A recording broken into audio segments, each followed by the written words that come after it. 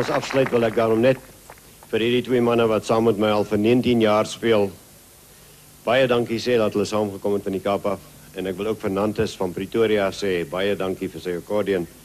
Maar ek wil net afsluit met uh 'n mondvletjie wat 2.5 cm lank is. Ek weet nie of jy dit kan sien daar nie. Hy het vier gaatjies in.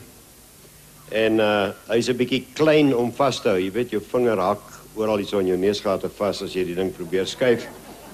Nou daar is die grootste mondvletjie in die wêreld en hier is die heel kleinste enetjie. En so klink die ouetjie.